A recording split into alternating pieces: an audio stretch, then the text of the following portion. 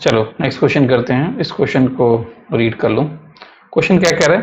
The resistance of the filament of a lamp increases increase in temperature यानी resistance जो बढ़ता है, वो टेम्परेचर इंक्रीज होने पे बढ़ता है। बिल्कुल सही है, बात तो सही है। The lamp rated power is 100 watt and rated voltage is 220 volt. Is connected across 220 volt power supply.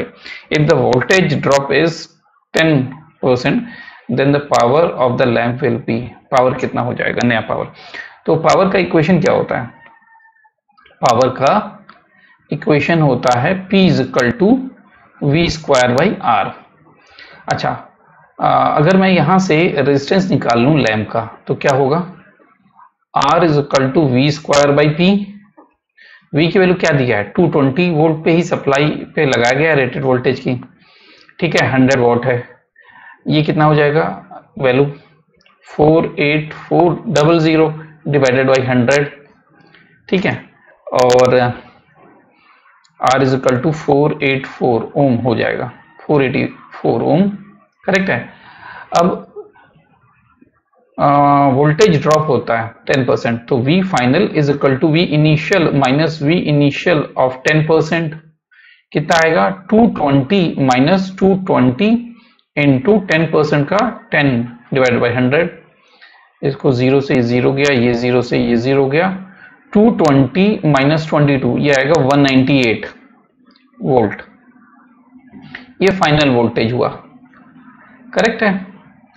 तो फाइनल पावर कितना होगा? Final power is equal to final voltage divided by resistance हमने ये कंसिडर कर लिया कि रेजिस्टेंस में change नहीं आ रहा है फॉर द टाइम भी ठीक है? अभी हम ये मानते हैं कि रेजिस्टेंस में कोई चेंज नहीं आ रहा।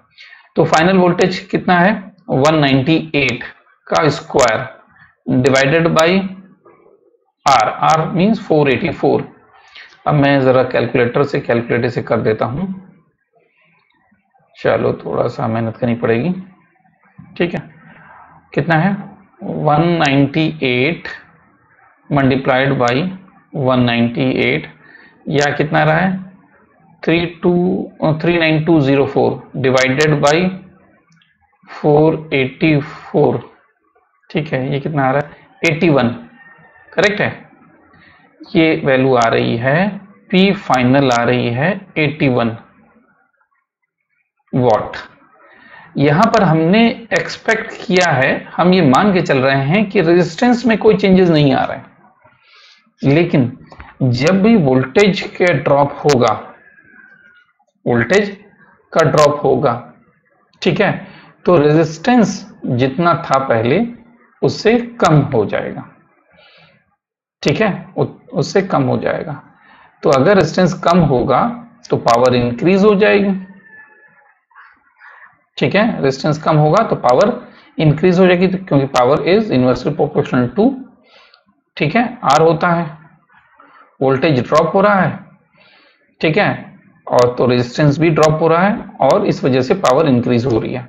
तो इसका आंसर क्या होना चाहिए? ये होना चाहिए। करेक्ट है? ठीक? याद रहेगा? लेकिन ये याद ध्यान रखना है कि करंट में कोई चेंजेस ना आ रही हो, तब ये होगा।